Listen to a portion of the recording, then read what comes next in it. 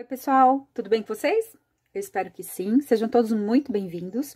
A aula de hoje eu trouxe mais uma blusa bem econômica e bem rápida de fazer.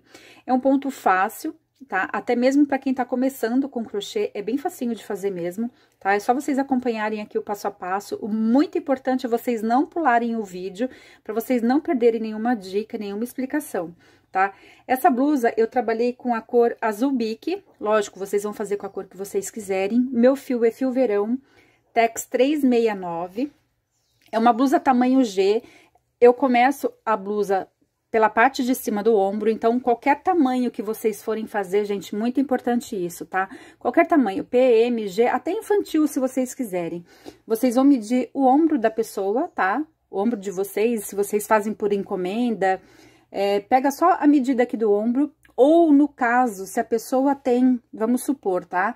Um busto muito é, maior do que a barriga, vamos supor, né? Aí pega a medida do busto, tá? Do seio, para vocês conseguirem fazer uma peça, e aí vamos supor, a pessoa tem 1,10m aqui de busto. Então, vocês vão fazer 55 centímetros para cada lado, tá? E aí, vocês vão começar com 55 centímetros aqui em cima, tá? Vocês vão pegar a fita métrica de vocês e vocês vão começar as correntinhas em cima desses 55 centímetros.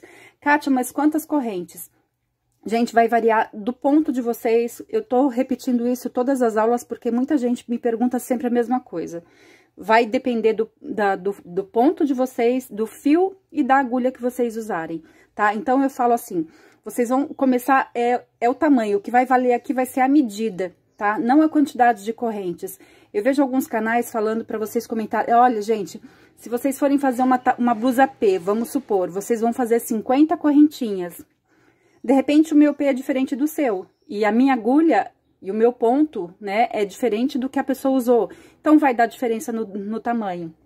É, aí, se vocês forem fazer uma, uma blusa tamanho M, vocês vão aumentar mais 10 correntinhas. Se vocês forem fazer um tamanho G, vocês aumentam...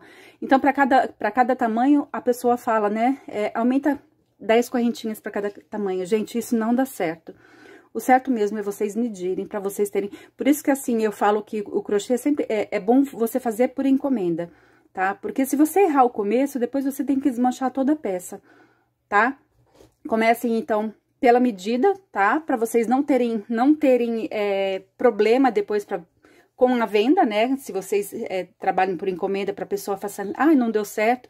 Ou então, até mesmo se vocês estiverem fazendo a, a peça para vocês, é, teve algumas pessoas que falaram assim, ai, Kátia, eu segui os seus, as suas medidas, né? É, só que a pessoa não mediu, não mediu a, a, o ombro, né? A, a, o corpo dela. Não pegou as medidas dela, pegou as medidas dessa blusa que eu tô fazendo aqui. Então, é bom vocês fazerem por tamanho, né, exclusivo. A não ser quem trabalha com várias, é, com peças pronta entrega, aí é diferente, né? Vocês vão fazer o tamanho, o tamanho aí mais ou menos que vocês acham que seria o PMG, né? E, e aí, a pessoa que for comprar, a peça já tá pronta. É diferente, tá certo?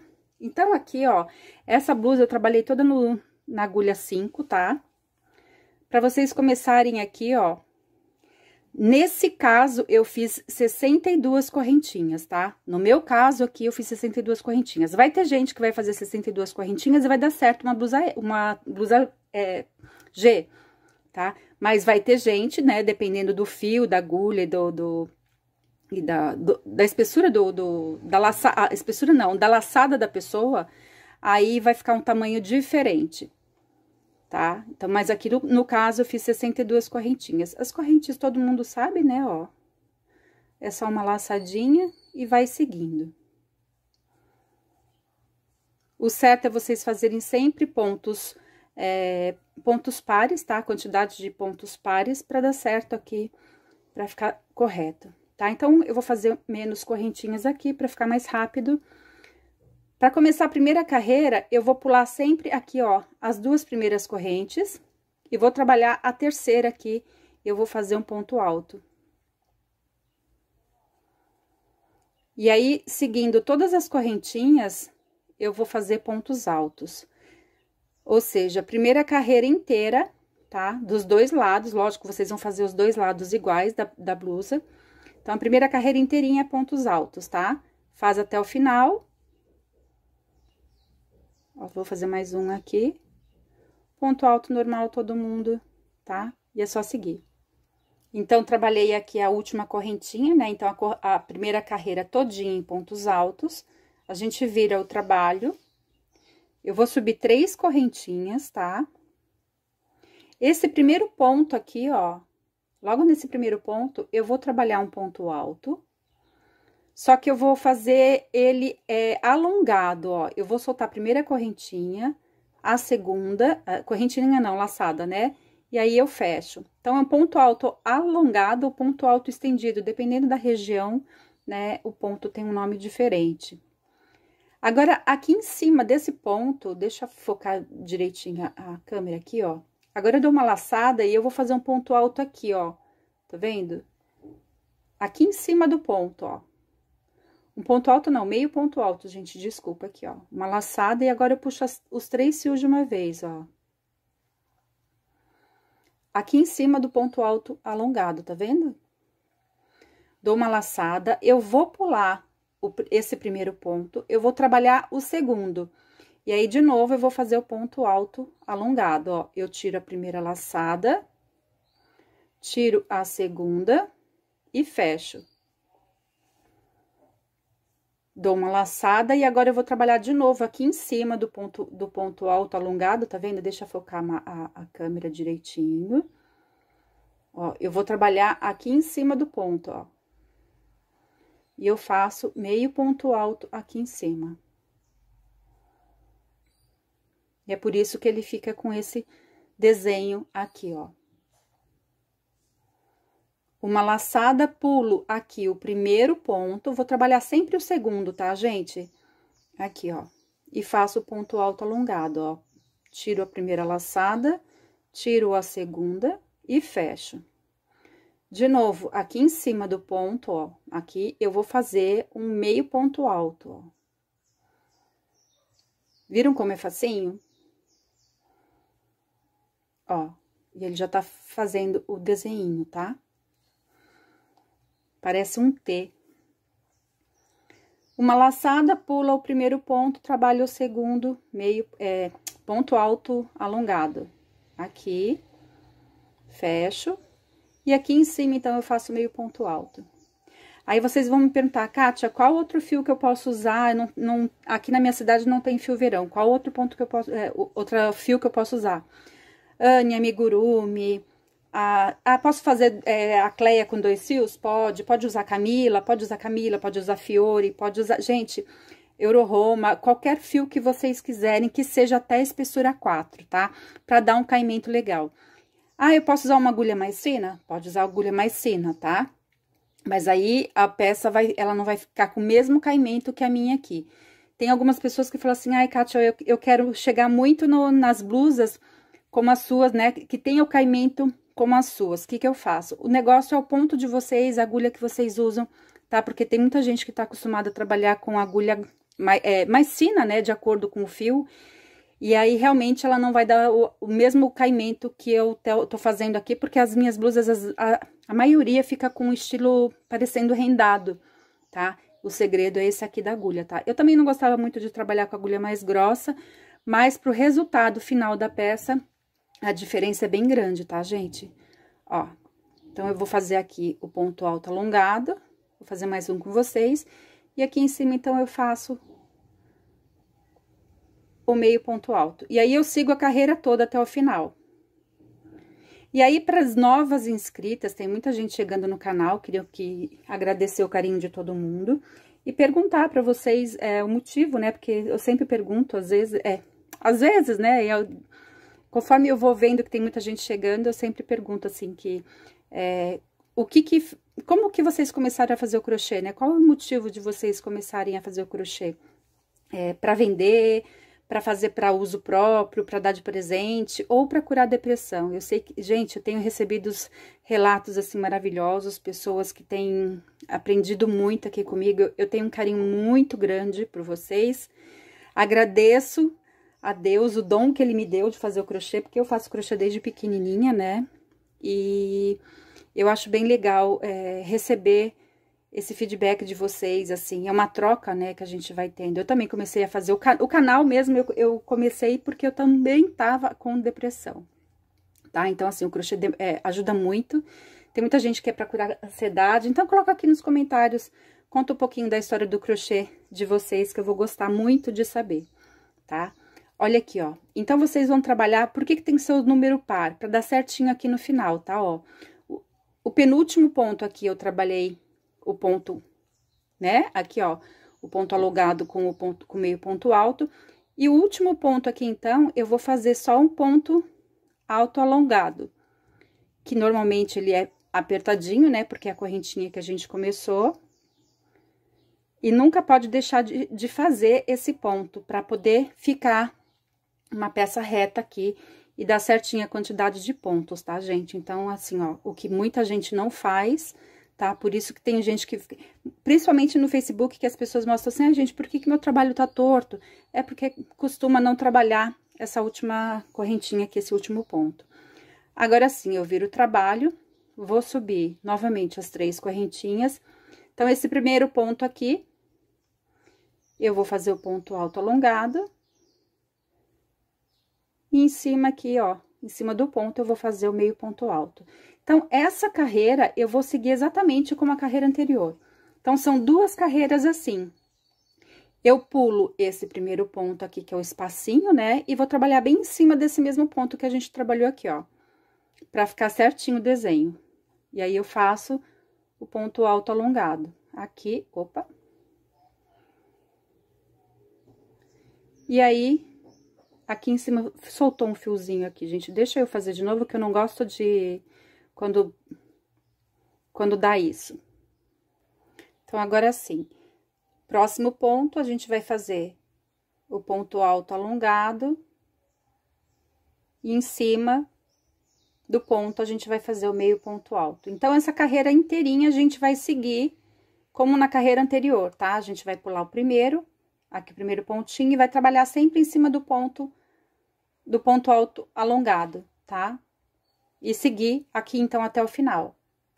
Então, cheguei aqui no último ponto que eu fiz o ponto alto alongado e o meio ponto alto em cima, e o último ponto aqui, que seria a nossa correntinha, né? Como a gente começa aqui com as três correntes, então, aqui eu vou fazer o ponto alto alongado somente, para fechar a carreira.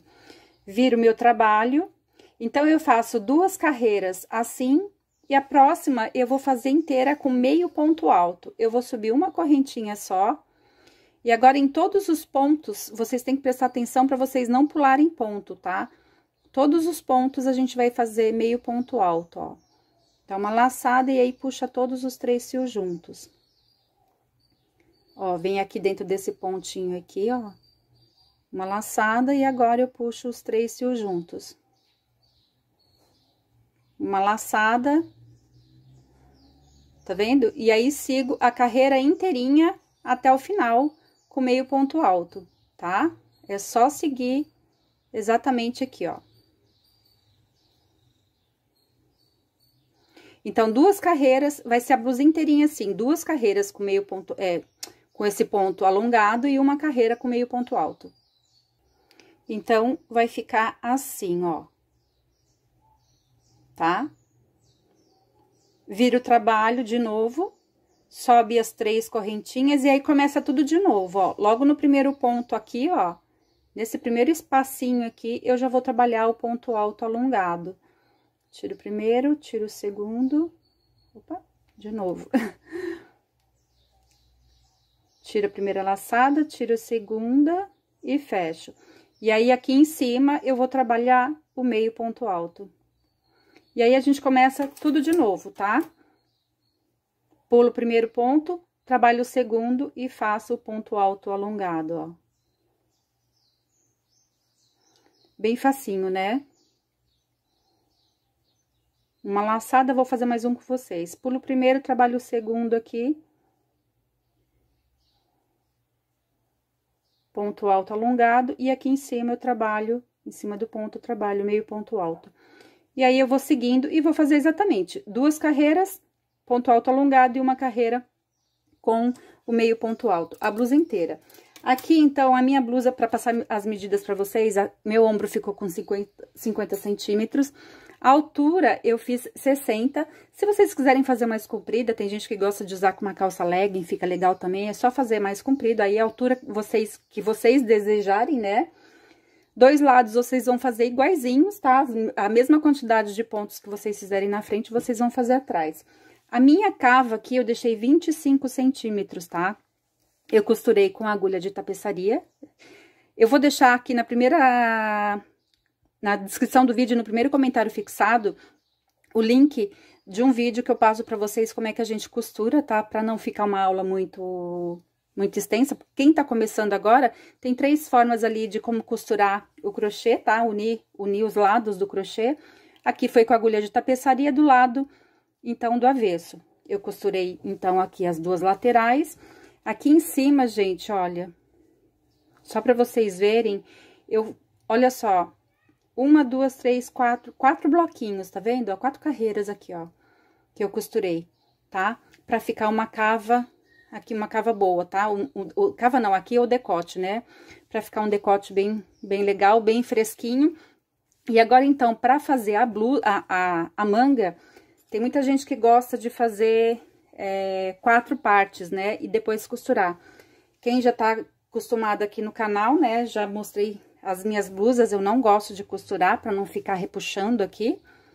Eu faço a, a, a manga já direto na, na peça montada. Eu acho que fica com acabamento melhor e fica até mais gostosa pra gente vestir, tá? Pra gente usar aqui a, a blusa. Então, aqui embaixo, ó, aqui eu também deixei os 25 centímetros, tá? A quantidade que vocês vão deixar de um lado, vocês deixam do outro. Eu gosto de começar sempre a, a carreira aqui, ó, na parte da costura, tá? Da emenda. Eu vou colocar o meu fio aqui. E a primeira carreira, então, eu já vou fazer com ponto alto alongado, tá? Olha aqui, ó. Eu já vou subir aqui as três correntinhas. Olha só como que vocês vão fazer. Tá vendo aqui? Aqui é a carreira que tem o ponto alto alongado, né? Eu vou fazer um ponto alto alongado aqui. Aqui em cima do ponto, vou fazer aquele meio ponto alto. E agora, eu vou pegar nesse espaço aqui, ó. Vendo? Mais fechadinho. Então, eu, primeiro eu peguei aqui no ponto grandão, né? No espaço grandão que, que a gente tem. E o segundo ponto eu vou fazer nesse pequeno aqui, ó.